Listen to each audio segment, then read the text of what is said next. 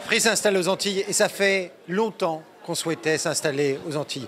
Nous sommes présents dans la métropole depuis 20 ans, nous sommes présents à La Réunion, nous sommes présents à Mayotte, nous sommes même présents en Italie en Pologne. Il y a 45 millions d'Européens qui nous font confiance pour leur connectivité chaque jour, qui utilisent notre réseau. Et on avait une énorme frustration, c'était de ne pas être présent encore à la, à la Caraïbe. Alors l'idée, c'est d'amener euh, la révolution Free dans les Caraïbes.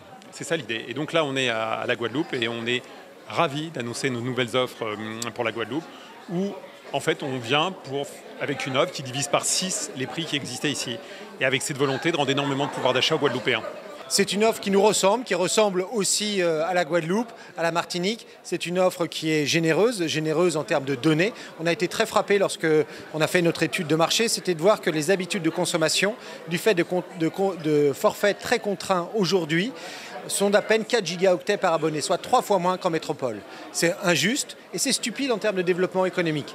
Ce sont aussi des offres euh, synonymes de liberté, avec une absence d'engagement, une transparence totale, sans astérix, et surtout à un prix révolutionnaire, 9,99 euros pour 120 gigaoctets. Donc c'est un prix incroyablement bas, jamais vu ici. C'est même deux fois moins cher que dans l'Hexagone, et on vient ici avec la volonté de mettre le bordel. Et comment faites-vous exactement pour baisser autant les prix?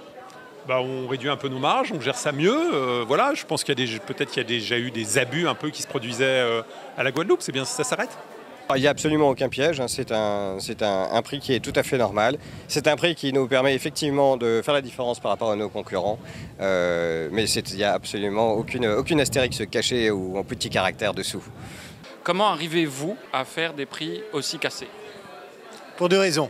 La première, c'est qu'on investit dans notre propre réseau. On va investir 100 millions d'euros sur une période de 5 ans pour disposer du meilleur réseau euh, dans les Antilles. Donc on souhaite être indépendant. Et ça, c'est essentiel.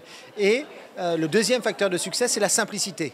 On a un modèle économique, on a à la différence de nos concurrents qui peuvent avoir des dizaines, des centaines d'offres et parfois euh, avec un manque de clarté, nous avons une offre, une seule offre, hyper simple. Alors comment fait-on pour, si on veut souscrire à vos forfaits aujourd'hui?